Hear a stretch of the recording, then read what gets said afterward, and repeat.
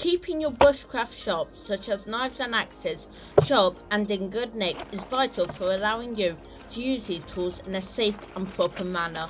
And that's where tool maintenance kits, like the one I've brought along today, come in.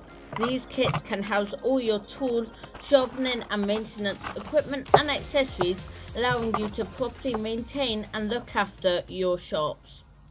So in today's video, I'm going to be going through my tool maintenance kit and what I keep in it. Okay, so we'll start this off by talking about the pouch that I keep my tool maintenance accessories in. So, as you can tell, this is actually just a camouflage pencil case. I love the colour of it. It's this lovely, like, hard wearing material. I know it's going to last a while. Front pouch here at, obviously, the front. Just a small pouch. And then the main big pouch. So, yeah, it's meant to be a pencil case but I use it to keep my tool things in and the main reason why I use this pouch is because it's a perfect length to keep my sharpening stone and my sharpening other little accessory that I use to sharpen my stuff so that's the pouch. Okay, so let's get into the actual contents of this pouch that I use to maintain all my tools and my axes and my knife mainly. That's the main things. Okay, so first off, the first front pouch, small pouch keep some sandpaper in. That's for really all the tools. Just don't use it to sharpen them, but just to um keep them in shape. And then this is some stropping compound. Looks a bit like soap. That's kind of what it's like, or like a waxy kind of thing. And you'll see how that comes into play with my strop in a bit.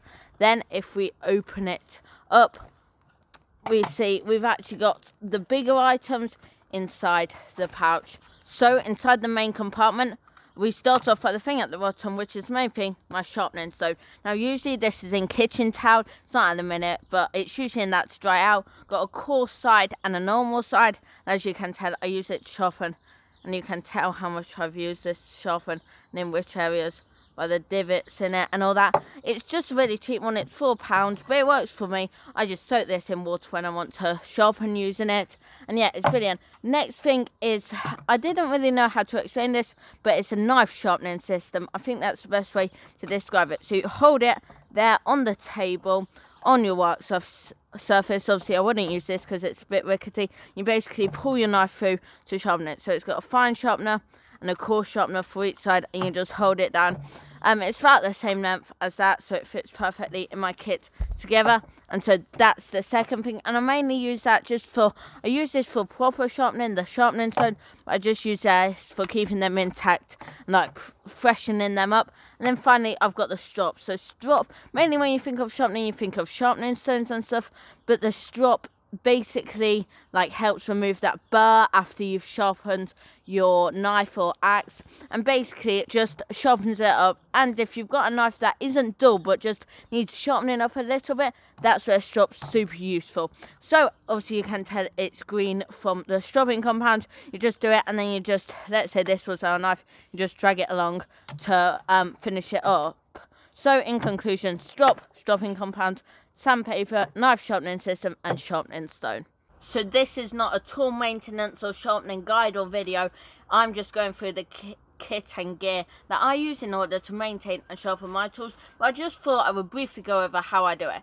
So the main two things I do is my knives and my axe.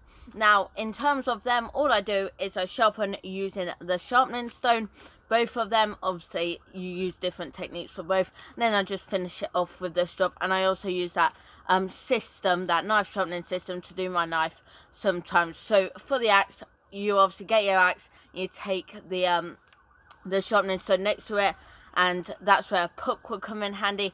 But I just use my normal one and do it in a circular motion to sharpen it. And then for your knife you get the knife to it and sharpen it.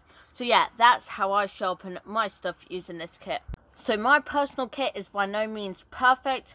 Um, so a few additions that I would like to make in the future and as time goes on. Firstly, I would like to add a flannel that might seem a bit weird, but just to dry off either my piece that I'm working on, so my knife or my axe or whatever, and my kit after I've sharpened, and also to add just some friction so I don't um, so nothing slides on the table when I'm sharpening. I would also like to add a honing rod, which along with this strop allows you just to finish off the sharpening after you've used the stone. So that's what I would also like to add. I would also like to look into maybe getting a puck for my axe instead of using my sharpening stone. Maybe some more additions along the way. So I hope you enjoyed this video. Please stay tuned for future videos. And please let me know down in the comments if you want to see any more videos about sharpening or tool maintenance. Because I can go over things like how I maintain my knife or my axe and sharpen them and all that. Because keeping your sharps, as I said in the intro, in good condition is essential to letting them work safely and